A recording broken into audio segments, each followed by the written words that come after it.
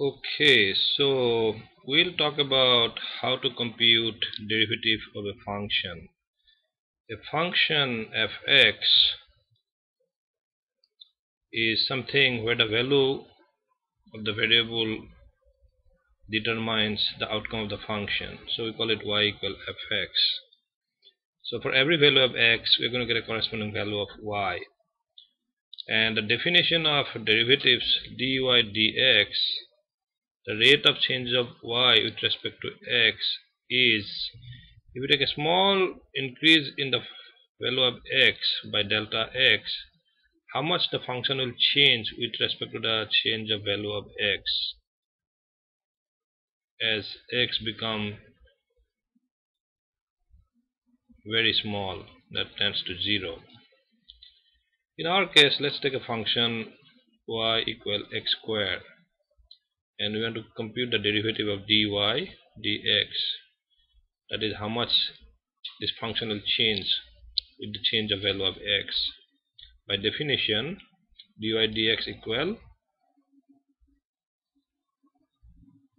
x plus delta x square because the function y equal fx was x square minus x square fx divided by delta x as delta x tends to 0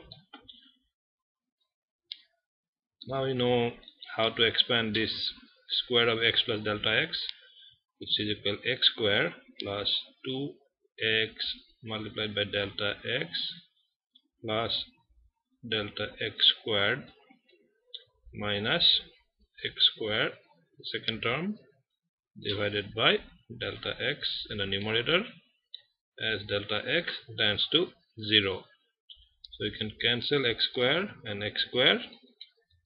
And basically we are left with uh, 2x delta x plus delta x square. The whole thing divided by delta x as delta x tends to 0 which is equal we simplify 2x plus delta x.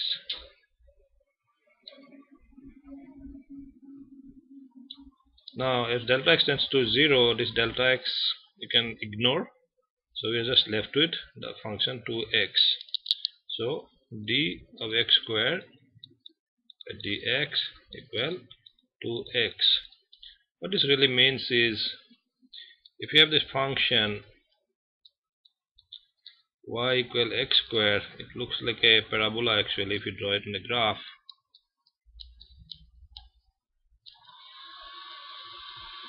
At any point say x equal 2 right before the rate of change of y when x equal 2 is 4 so this is the tangent that represents the slope the dy dx which will be changing.